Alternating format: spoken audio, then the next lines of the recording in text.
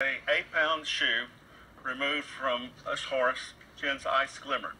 Glimmer was rescued going to slaughter uh, in July 28, 2015. Uh, he was saved by the Horse Plus Humane Society of Hohenwald, Tennessee. Uh, we had no idea when we saved Glimmer what his record was. Excuse me, Here is- Clint, can we, can can we deal specifically? no, I'm going to deal with this. No.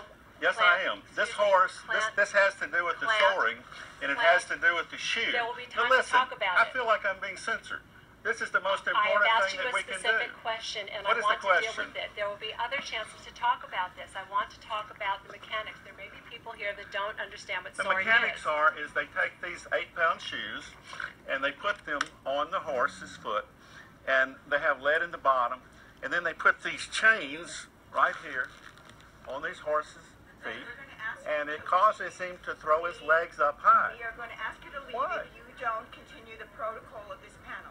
We don't want to get into anything difficult, but you need to follow what Candace has. I was just following the video which explained it. Let her tell you what she wants I can't do. have her tell me what to say. I'll be glad to answer a question. I am was moder- question, I am, please? it's specific. What is soring? What are some of the methods of soring, excluding the shoes? The You have the soring chains. is big lick animal cruelty. Soring is created by putting heavy shoes on the horse's feet, and then they put chemicals on the pastern area of the horses above the hoof, and then they put the chain. It's the only horse breed in America that's shown with chains in the ring. Uh, USEF will not allow this horse at any of its events.